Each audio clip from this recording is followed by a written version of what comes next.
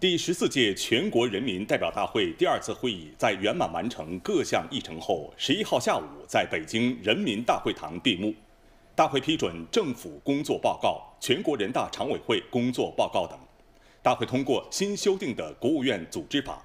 国家主席习近平签署第二十一号主席令予以公布。下午三时，闭幕会开始。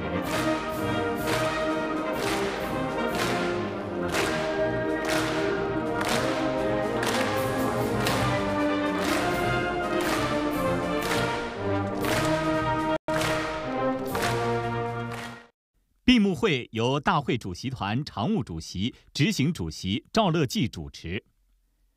大会主席团常务主席、执行主席李鸿忠、王东明、肖捷、郑建邦、丁仲礼、郝明金、蔡达峰、何维、武维华、铁凝、彭清华、张庆伟、洛桑江村、雪克莱提扎克尔、刘奇。在主席台执行主席席就座。习近平、李强、王沪宁、蔡奇、丁薛祥、李希、韩正和大会主席团成员在主席台就座。会议应出席代表两千九百五十六人，出席两千九百人，缺席五十六人。出席人数符合法定人数。赵乐际宣布会议开始。会议经表决通过了十四届全国人大二次会议关于政府工作报告的决议。决议指出，会议充分肯定国务院过去一年的工作，同意报告提出的二零二四年经济社会发展的总体要求、政策取向和工作任务，决定批准这个报告。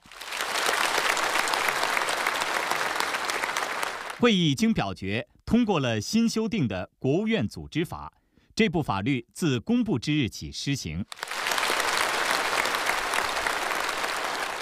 会议表决通过了十四届全国人大二次会议关于二零二三年国民经济和社会发展计划执行情况与二零二四年国民经济和社会发展计划的决议。决定批准关于二零二三年国民经济和社会发展计划执行情况与二零二四年国民经济和社会发展计划草案的报告，批准二零二四年国民经济和社会发展计划。表决通过了十四届全国人大二次会议关于二零二三年中央和地方预算执行情况与二零二四年中央和地方预算的决议。决定批准关于二零二三年中央和地方预算执行情况与二零二四年中央和地方预算草案的报告，批准二零二四年中央预算。会议表决通过了十四届全国人大二次会议关于全国人大常委会工作报告的决议。决议指出，会议充分肯定全国人大常委会过去一年的工作。同意报告提出的今后一年的任务，决定批准这个报告。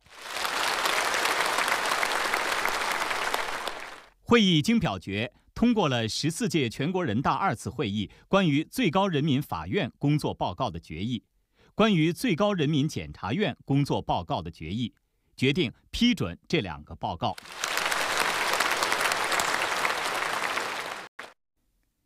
随后，赵乐际发表讲话。他说：“十四届全国人大二次会议圆满完成了各项议程，在全体代表和有关方面的共同努力下，会议开得很成功，凝聚了共识，明确了任务，坚定了信心，是一次高举旗帜、真抓实干、团结奋进的大会。”赵乐际指出，大会期间，代表们肩负党和人民重托。以饱满的政治热情和昂扬的精神状态，依法履职尽责，认真审议各项报告和议案。会议成果充分体现了党的主张和人民意志的统一，彰显了全过程人民民主和国家根本政治制度的显著优势。赵乐际说：“今年是中华人民共和国成立七十五周年，是实现‘十四五’规划目标任务的关键一年。”认真落实大会确定的各项任务，努力实现全年经济社会发展目标，具有十分重要的意义。我们要在以习近平同志为核心的党中央坚强领导下，坚持以习近平新时代中国特色社会主义思想为指导，同心同德、凝心聚力、团结奋斗，坚定不移推进中国式现代化。要践行以人民为中心的发展思想，发展全过程人民民主，充分尊重人民所表达的意愿、所创造的经验、所拥有的权利、所发挥的作用。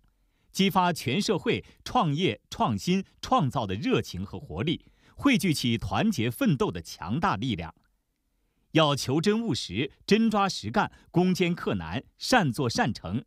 努力克服一个一个困难，办好一件一件实事，完成一项一项任务，在团结奋斗中不断实现人民对美好生活的向往。赵乐际最后说：“团结奋斗。”是中国人民创造历史伟业的必由之路。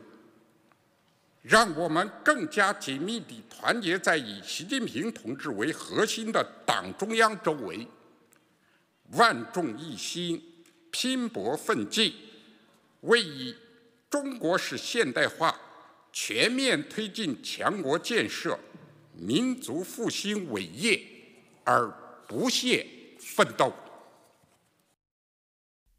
在主席台就座的还有马兴瑞、王毅、尹力、石泰峰、刘国中、李干杰、李书磊、何卫东、何立峰、